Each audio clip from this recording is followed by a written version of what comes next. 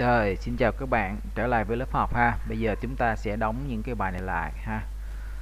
Đóng lại khỏi gần lưu cũng được anh chị. Rồi, vô mở tiếp bài số 2 nha. Rồi, buổi 1 là mình đã xong rồi ha. Rồi bây giờ mình qua buổi 2 này các anh chị ha. Rồi, tương tự thôi mình biết là mình vô buổi 2. À, buổi 2 mình có hai bài ha, 21 22. Rồi, bài 21 là chúng ta thấy là ghi là tô màu và layer có nghĩa là chúng ta sẽ học những cái chiêu Ờ, về tô màu cũng như là layer ha. Rồi các anh chị mở lên. À, chúng ta mở ba cái file này. Cái này đừng mở nha các anh chị ha. Đó là cái file thumbnail thôi. Chúng ta chọn đây. Mở ba cái. Rồi xong. Các anh chị cũng uh, sắp sole ha. Rồi file nhỏ xíu để bên góc mình đi ha. Rồi chúng ta quan sát nè. Begin bắt đầu final là kết thúc. Vậy từ hình này chúng ta sẽ ra hình này ha. Như vậy các anh chị thấy chưa? Từ cái hình này mà chúng ta muốn ra hình này là thấy nó nó rất là nhiều màu sắc. Cho nên là cái bài này á chúng ta sẽ học về màu sắc ha được chưa? Rồi bây giờ thầy sẽ nói lý thuyết trước cho anh chị hiểu nè ha. À, chúng ta học màu sắc và layer nha. Đây cái đứng cái file này thực hành luôn nhé.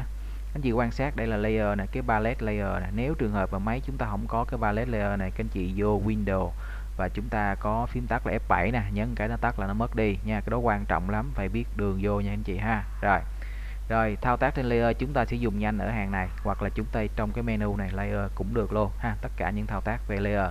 Photoshop thì layer rất là quan trọng nha anh chị ha. Rồi bây giờ để tạo mới layer này lớp nè ha thì chúng ta đưa vào đây. Có biểu tượng nè màu trắng nè tạo mới ha. Các anh chị nhấn một cái nó có một cái layer mới lên ha. Các anh chị có thể đặt tên ABC nào đấy cho anh chị dễ nhớ ha hoặc chúng ta để tên mặc định tùy chúng ta. Về màu sắc thì mình quan sát ở góc này ha. À, ở đây là màu Ờ, uh, foreground là màu ở trên và background là màu ở dưới ha. Các anh chị nhấn vào đây nó hiện ra. Anh chị thích màu nào anh chọn thôi không có bắt buộc các anh chị ha. Ví dụ chọn màu xanh cho nó mát mẻ. Ok rồi sau khi chọn được màu rồi bây giờ tôi muốn tô cái màu này vào đây ha thì các anh chị vô edit nè chúng ta học là fill fill ha là tô màu bên trong đối tượng các anh chị ha. Rồi sau đó nó hiện hộp thoại ra. Rồi các anh chị dùng là foreground color. Ok nó tô màu này. Đấy rồi anh chị tạo mới một lớp nữa đi ha tạo mới. Tiếp tục edit fill nè các anh chị chọn ha, background color, các anh chị ok. Đó, phân biệt được không ạ? À? rồi, như là foreground là màu ở trên, background là màu ở dưới. Nha anh chị, tiếp tục tạo mới một cái nữa ha. Edit fill luôn. Rồi, lần này tôi chọn color. Thì nó hiện ra cái bảng màu cho các anh chị chọn, được quyền chọn. Các anh chị chọn một cái màu các anh chị thích hoặc là chúng ta pha theo tỷ lệ màu ở đây đều được hết nha. Rồi, ok. Rồi, ok. Đó. Rồi, như vậy là tôi đã ba lần tô màu rồi, đúng không? Rồi các anh chị vô này edit fill này các anh chị quan sát nhé. Rồi, khi mà người ta lập trình cho một cái phần mềm người ta làm là có ngữ quý hết, anh chị ơi. Anh chị thấy ba cái mục này không? Nó gồm một cái nhóm này có đường gạch ngang, nó gồm nhóm này ha. Như vậy, các anh chị thấy ba này có gì chung nào? Cái chung ở đây là chúng ta dịch theo chuyên môn, chúng ta gọi là tô màu đơn sắc anh chị. Đơn sắc là một màu, anh chị một màu này một màu một màu hết, gọi là đơn sắc nhé rồi bây giờ mình qua cái yếu tố thứ hai là pattern pattern mình tạm dịch là những cái mẫu tô những cái họa tiết những cái hoa văn. À, những hoa văn này chúng ta dùng những cái hoa văn có sẵn trong Photoshop á. ở đây có sẵn các anh chị có thể mở thêm ở chỗ này. Hoặc là các anh chị sẽ tạo mình sẽ được học cái cách tạo thêm những cái hoa văn trong này được luôn nhé. Rồi các anh chị ok cái này đấy thấy nó tô chưa? Ha tiếp tục như vậy nha mình đi trải nghiệm đi. Đầu tiên các anh chị cứ trải nghiệm nó ha thử đi anh chị. Đấy rất là nhiều ha. Thử cho biết. Đó. Rồi cái ông này history tức là trở về ban đầu. Đó hồi nãy nó hủy hết cái nó nó trở về ban đầu luôn nè thấy chưa? History là như vậy ha. Rồi còn nếu như các anh chị dùng là place là màu đen nó tô đen thôi đúng không? Tương tự gì anh chị? Gray màu xám và place là à, white màu trắng. Được chưa? Rồi edit fill tóm lại tô màu ha. Tô đơn sắc dùng mấy ông này. Được chưa? Foreground lấy cái màu này. Background lấy cái màu này. Còn color nó hiện ra cái bảng màu cho mình chọn màu luôn. Tô theo mẫu ha trở về ban đầu ha. Rồi màu đen màu xám màu trắng. Rồi hiểu kịp chưa anh chị? Ghi chú lại nha nốt lại. Rồi đấy là thầy nói về những cái kỹ thuật tô màu là như vậy ha. Rồi ở đây là mình có cái chiêu đầu tiên. À, là cách cách một là mình tô bằng edit fill như các anh chị đã được biết. Bây giờ chúng ta sẽ qua cái cách hai ha. Chúng ta gọi là tô màu chuyển sắc nha anh chị. Để tô màu chuyển sắc thì anh chị vào đây nè, chúng ta có cái công cụ có tên là Radiant Tool. Nè, đây nè, Radiant Tool, được chưa? Rồi, bây giờ nè, khi mình chọn một cái thì ở trên đây nè, nó hỗ trợ nha, đúng không? Giờ mình kéo một cái đi. Ồ, thấy nhiều màu không? Đấy, tô màu chuyển sắc là nhiều màu thôi, đúng không? Và anh chị đi trải nghiệm đi.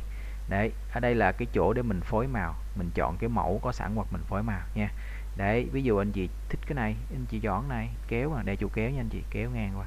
Đó, thấy chưa? Tùy mình thôi, mình muốn thích phước cái màu gì mình chọn nha. Rất là nhiều kiểu để anh chị chọn. Đồng thời chúng ta có năm cái mẫu nhỏ, đây là phối thẳng này còn nếu này là phối tròn này phối tròn, đúng không? Còn này nó nhọn như hình nón ra này đấy, cái này là phối ngang này đúng không? Cái này là phối ờ, xéo vuông góc này đấy, anh chị thấy chưa? Kéo dài, kéo ngắn nó sẽ ra khác. Rồi, hãy thử đi, các anh chị ơi, thử, không cách nào khác, hãy thử nhé rồi như vậy là chiêu thứ hai là tô màu đơn đơn sắc tô màu chuyển sắc nha. Chuyển sắc là nhiều màu là vô này. Rồi chiêu thứ ba các anh chị ơi tạo lớp mới đi chiêu thứ ba là chúng ta tô màu bằng cọ brush tool đúng không? Rồi cọ thì khi nó tô nó sẽ lấy cái màu này nè anh chị. Đó màu xanh thấy chưa? Đảo màu nè ha, màu trắng đúng không? Nhấn cái này nó về mặc định nè ha. đen trắng đó anh chị muốn màu gì? Đồng ý chưa? Đấy. Rồi ồ, thấy rõ chưa anh chị? Rồi, ngoài ra này cái cọ nó hay lắm, trong này nó nhiều cọ, đây là kích thước cọ anh chị kéo lên, là cái cọ mình nó bự nè, đúng không? Rồi nhỏ thì cọ nhỏ thôi, đúng không? Đấy. Rồi, trong đây nó có nhiều cái đầu cọ lắm nha. Đầu, đây là cọ mềm nè, gọi là cọ mềm. Thấy nét nó mềm không? Còn nếu cái cọ này cọ cứng nè, cái nét nó cứng nè nha. Rồi, rớt rớt là nhiều trong đây anh chị khám phá đi, ha. Rồi, chúng ta sẽ khám phá sâu hơn nữa, ha. Đó, nó có nhiều hình đẹp lắm rồi nhắc lại tóm lại về màu sắc các anh chị có tổng cộng là ba phương pháp tô một edit fill. Đây thấy chưa? Hai tô màu chuyển sắc là dùng mông này và ba là dùng cọ để tô. Rồi đó là thầy nói về màu sắc nhé. Rồi nói về layer ha ở đây layer nè. Tạo mới là ông này đúng không? Giờ xóa thì sao? Đứng lớp này này nhấn cái hùng rác là xóa. Yes. Hoặc là chúng ta nắm cái lớp đó, quăng rác đi là xóa thôi đúng không? Rồi, các anh chị đổi trật tự lớp này giờ lên giờ xuống nè. Đổi trật tự, đẩy lên để xuống, ha giờ lên giờ xuống gì cũng được hết. Đó, các anh chị hãy là mỗi lớp là hình nó chồng chồng lên đó. mình sắp xếp, mình đổi lại theo ý của mình. Nha, các anh chị ơi, đúng không? Rồi, đấy là chúng ta nói về à, lý thuyết, ha. Đó, về màu sắc, về lớp. Sau khi mình nắm được lý thuyết rồi, ha, tôi sẽ trở về ban đầu nè, ha. Các anh chị có chiêu này nhanh nè. Window history, các anh chị ơi, history, ha. Đấy anh chị đẩy lên nè. Đó trở về đầu luôn, ha.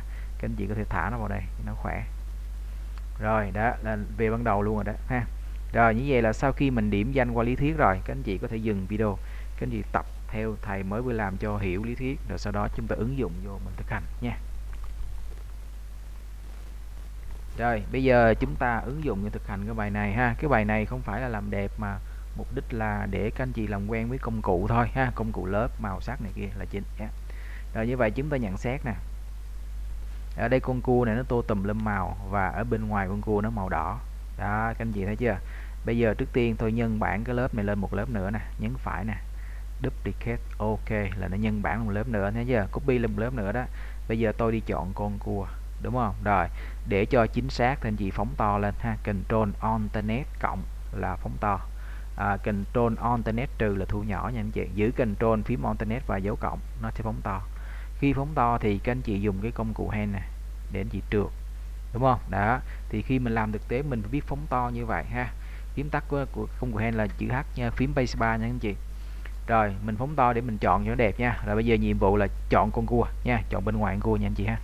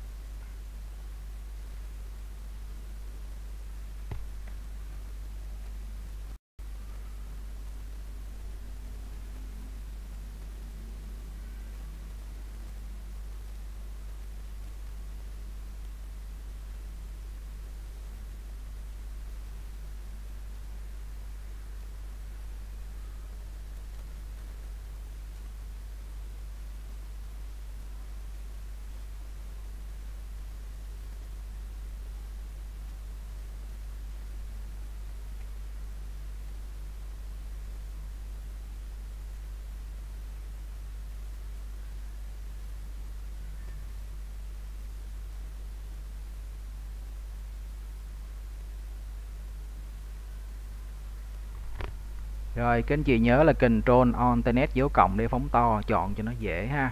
Rồi sau khi chọn được rồi là Control Alternate dấu trừ là nó thu nhỏ trở lại nha các anh chị ha. Rồi như vậy là mình phóng to lên mình dễ chọn hơn. À, rồi sau đó mình thu nhỏ lại đúng 100% sự thật là mình thấy vùng chọn đẹp liền à nghe chưa? Rồi như vậy thì bây giờ tôi đã chọn được con cua rồi ha. Và các anh chị thấy nè con cua này nó tùm lum màu đúng không? Để tùm lum màu được như này là mình nhớ là hồi nãy mình học ba cách thì để làm được như thế này là mình dùng cái cách nào nhé? Câu trả lời là dùng cọ các anh chị ơi ha. Rồi các anh chị à, có thể giảm cái thước cọ nó nhỏ lên chút xíu cọ to quá ha. Rồi các anh chị bôi lên ha. đấy quét lên thoải mái. Cũng không có bắt buộc phải giống đâu ở đây là chủ yếu là mình à, gọi là dùng là mình thực hành cái công cụ nha các anh chị ha. Rồi các anh chị quét lên đi. Đó tùm lum màu lên đấy. Ha các anh chị hút màu này qua quét ha. Đó các anh chị thấy chưa? Cái vùng chọn nó hay lắm có nghĩa là khi mà chúng ta đã chọn cái cái vùng chọn này rồi thì khi mình quét màu lên đó, nó chỉ ảnh hưởng trên cái cái vùng chọn thôi chứ nó không có bị loan ra ngoài nha. Đó cái đây cái hay của Photoshop là như vậy. Rồi sau khi các anh chị tô màu con cua rồi thì các anh chị bên ngoài con cua này màu đỏ nè anh chị thấy chưa? Thì các anh chị có chiêu nè đang chọn cua rồi giờ muốn ra bên ngoài thì mình vô select học chiêu này nè. Inverse nghịch đảo vùng chọn. Thì nó sẽ đi ra bên ngoài. Đó rồi bây giờ mình tô màu đỏ màu đỏ là ha cái gì hút màu trở lại nè hút màu đỏ một cái. Thấy chưa? Tô màu đơn sắc này edit gì đây? Fill. Chỗ này anh chị gọn này ok. Rồi cạnh trên D bỏ chọn. Đến đây khẳng định là tôi đã làm được cái con cua và cái màu đỏ bên ngoài ha. À, tiếp theo mình có bốn miếng chanh. Thì anh chị thấy đây đâu có chanh đâu không thấy chanh đúng không? Nè hồi nãy mình nhân bản lên nè.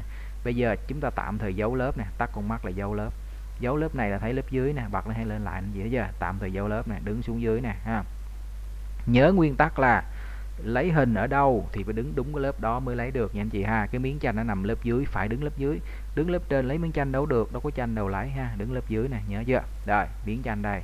Dùng hình tròn này ha, các anh chị ha. Chọn chọn lấy miếng chanh nè, được chưa? Rồi, sau khi chọn rồi làm gì à? Edit copy ha. Rồi bỏ chọn đi kênh trên D. Quay về đây nè, bật lên anh chị ơi. Rồi dán nè anh chị ơi, copy paste bình thường thôi. Rồi, copy rồi dán ha, các anh chị paste ra mấy lần đi đấy. Đấy. Ok, rồi, đủ bốn miếng danh ha. Rồi, ok, tiếp theo thì mình thấy đây, chỗ này mình cũng học cái kỹ thuật làm thôi. Tạo một lớp mới lên anh chị, để làm giống vậy nè, vẽ một vùng chọn hình chữ nhật lên. Đồng ý chưa? Rồi, tô cái màu xanh xanh giống vậy nè, các anh chị có thể hút cái màu xanh của người ta, hoặc là anh chị tự làm ha. Rồi fill nó vô. Rồi foreground màu xanh. Đồng ý chưa? Rồi, cái màu xanh này thấy hột hột hột không? Cái này là mẫu tô. Đây, cái hình này nè anh chị. Select on.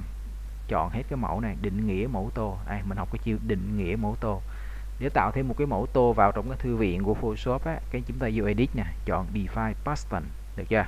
Rồi, nó ra đây ha. Mình đặt tên là mẫu một gì đó. Thấy không? ok. Rồi, là nó định nghĩa rồi đó. Giờ quay lại đây nè. Xài nè. Vô lại nè. Edit fill đúng chưa? Chỗ này chọn pattern đây, vô đây. Đó anh chị tha cái cái mình mới mới định nghĩa thêm đó. Đó, mẫu một đó thấy chưa? Nhấn chọn. Ok. Rồi, xong ha. Và bây giờ ở đây mình thấy cái vùng chọn này nó là màu xanh dưới màu xám vậy nè. Các anh chị thu nhỏ vùng chọn này vô. Ha, thu nhỏ vùng chọn là gì nè. Select transform selection. Nha, điều chỉnh kích thước vùng chọn anh chị ơi. Thu nhỏ vô nè. Ok chưa? Rồi bây giờ mình tô như thế này. À, tôi gọi là nhiều màu chuyển sắc nè. Vô ông đây nè nhấn vào đây nè. Chọn ô đầu tiên nè. Ô đầu tiên là sự phối hợp của hai màu này nha anh chị. Rồi kéo chuột một cái. Đấy như vậy anh chị thấy chưa? Chúng ta đã phối hợp được ba cái kỹ thuật tô màu vào đây ha. Bỏ chọn Ctrl D ha. Rồi bây giờ mình đánh cái chữ này vào đúng không chị? Ha rồi bây giờ nè để đánh chữ đó thì các anh chị dùng công cụ T nha. Chúng ta sẽ có bài chuyên học về chữ riêng. Giờ chỉ là nói nhanh thôi vô công cụ T này, nhấp chuột một cái. Nó hiện lên đây, ha, các anh chị chọn font size mà anh chị mong muốn là gì?